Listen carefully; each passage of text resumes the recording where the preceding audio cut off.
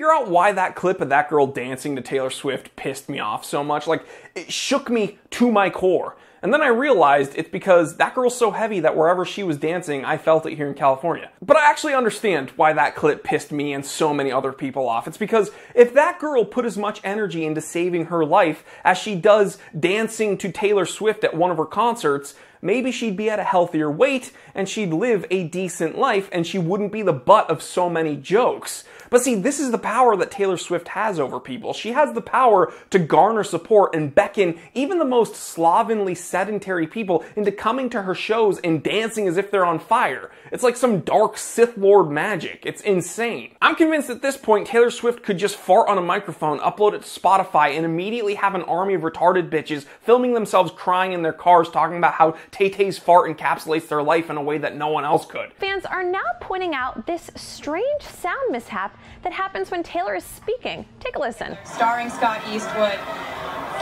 Here's the video. Not gonna lie, it does sound suspicious.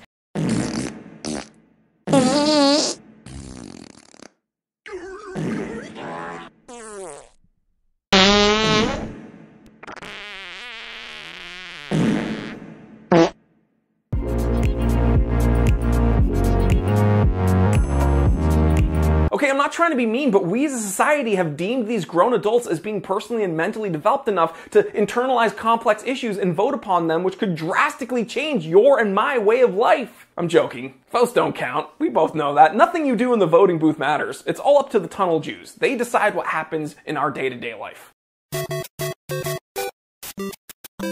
A hidden tunnel was discovered under a synagogue right in the heart of Brooklyn. All right, so you want to talk about epic trolling? That clip of the tunnel Jew that I was pulling to do the bit was posted to YouTube by the Turkish Public Broadcast Service, and they themselves added that Mario noise. It wasn't me. So I know Turks don't like Jews very much. The leader of Hamas actually just took a picture with the president of Turkey. So, um, yeah, what are you trying to say? Okay, it's funny when I joke about the tunnel Jews, but when you do it, it's, it's still very funny, actually. And if you're interested in this misinformation, you want to see more of this Tunnel Jews propaganda, please support me on Patreon and join the ranks of other people who are 100% probably not gay. Okay, so today we're talking about Taylor Swift. Billionaire singer songwriter, sweet, innocent, all American girl next door, terrible at giving head. I don't know that for a fact, but I mean, come on. She has all these songs and they're all about dudes leaving her. And it's like, okay, Taylor, you're in all these relationships, and at some point you gotta ask if, like, maybe you're the problem. Maybe you need to knock it off with the dry hand jobs and start learning how to give some quality sloppy toppy.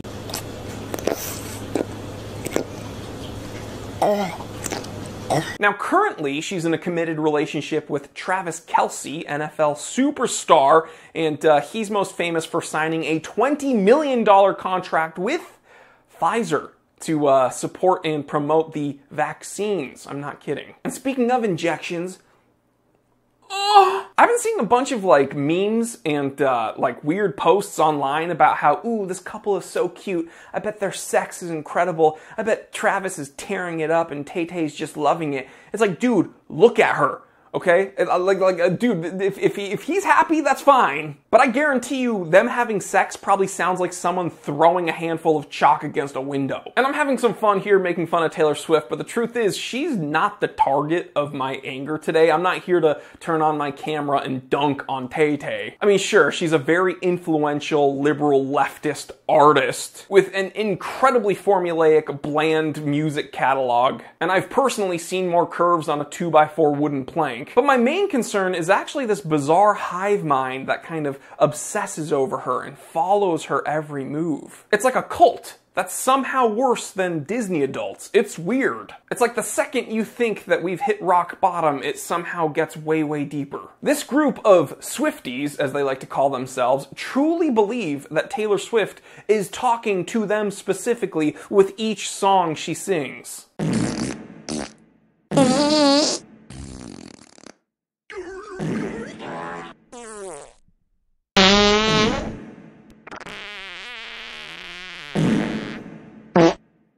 They resonate with every simple thought she has. They hang off of every cliche metaphor she uses.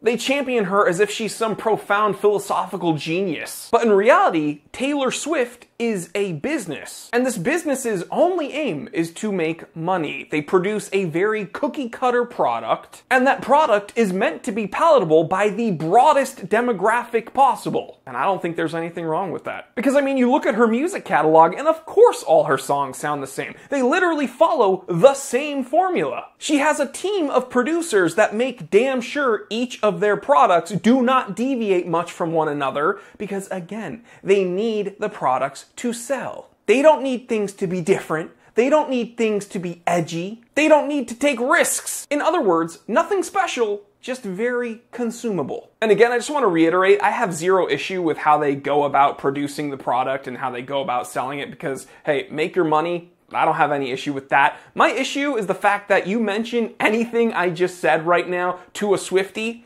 and they get more militant and violent than like a Palestine supporter. Don't forget to speak very, very clearly. Allahu Akbar.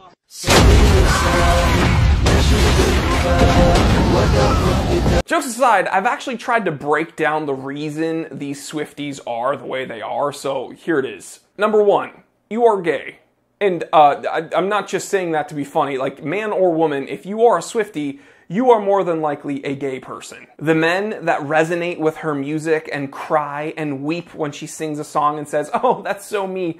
Yeah, dude, you are gay. And for the women that cry when they hear Taylor Swift and, uh, oh my god, I love her so much. Yeah, you, you are gay. You're, you, you're gay. Number two, you are generally unlikable and you lack social skills. So, of course, you're going to attach yourself to someone or something that you'll never actually ever have to interact with in person. Because, again, chances are you are never going to be able to interact with Taylor Swift in a social setting. So, um, yeah, your kind of social deficits will never be on display. You can just listen to her songs and become obsessed with her and then feel emptiness inside. Number three, this is kind of the saddest one of all you lack significance in life. So instead of seeking God, you choose to worship Taylor Swift. I mean, hear me out. You sing her songs, you pray to her, you defend her, you try to convert others. This is all a very shallow attempt at attaching yourself to something larger than yourself because that is kind of a human need. And you can do it through God, and I'm not here to, you know, preach to anyone. You can do whatever you want. But trying to fill the emptiness you feel inside with a pop idol is not going to be fulfilling. It's not going to make you happy long term. And you're going to end up being one of these weird, kooky, brainwashed people filming themselves crying in their car, drooling because you heard a Taylor Swift song. It's like you literally heard the voice of God. But it's not the voice of God. It's the voice of some weasel looking billionaire with no ass and zero sex appeal, doesn't know you exist, doesn't care you exist, only cares that you're listening to her music and paying her bills, and is busy baking cookies honoring one of the worst presidents we've ever had in our life. But either way, Everything is gay. Special thanks to my Everything is Gay Patreon. Here are the dudes that are 100% probably not gay. Brad, Dick Dallas, Adam A, John Kingston, what the quan, you're way too beautiful girl. If you want to join, then uh, please click the link in the description below and you get a bunch more content there and it's a whole lot of fun. What are you doing? What are you, gay?